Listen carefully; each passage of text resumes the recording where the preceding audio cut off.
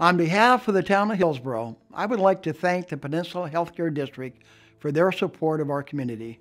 For decades, the Peninsula Healthcare District has been the source of critical support services for our county's seniors and youth. Their partnership has allowed for nonprofits in our community to thrive and, in the process, strengthen our community's safety net. San Mateo County is healthier and stronger because of their commitment to our community.